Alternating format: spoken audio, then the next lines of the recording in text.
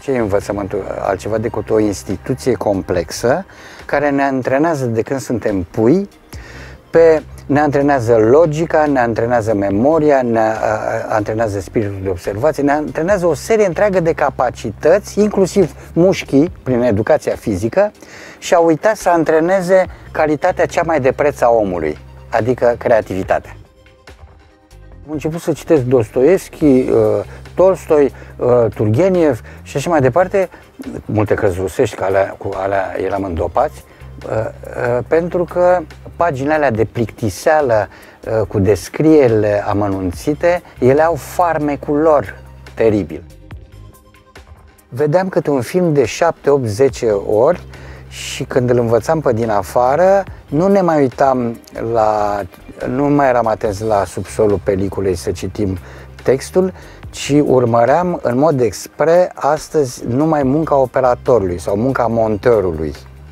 O treabă extrem de interesantă. Adevăratele opere de artă așa trebuie să consumate, revenind în continuu, în continuu, inclusiv la etape diferite, la vârste diferite. Pentru că ți se schimbă gustul, uh, raționamentul, uh, profunzimea, o mulțime de uh, calități apar și când le revezi sau recitești, atunci citești de pe alt palier, percepi de pe alt palier.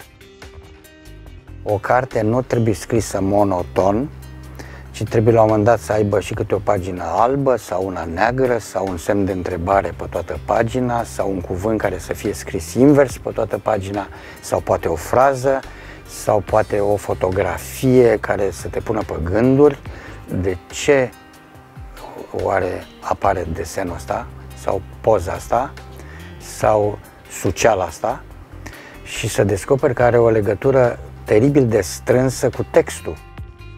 În felul ăsta, cartea aceea devine vie.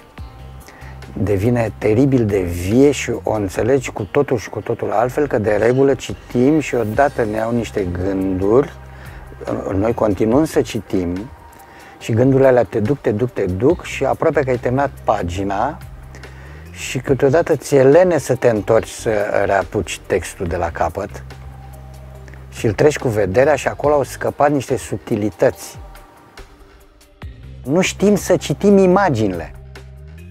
Deși imaginea este cea care ne atenționează în permanență ce să facem, pe unde să umblăm, ce, ce este acolo, ce este... Uh, deci imaginile astea sunt de, uh, uh, de toate chipurile. Multe dintre ele nu le percepem în, adevăratul, în adevărata lor substanță. Le percepem eronat. Mergându-se pe formula care circulă în permanență, și anume noi dăm ce vrea publicul. Dacă publicul nu știe, nici nu vrea.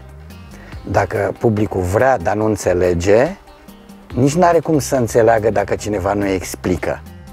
Și atunci nu mai vrea. Asta e adevărul, așa este. Adică domina altfel un popor uh, căruia nu-i deschis capul.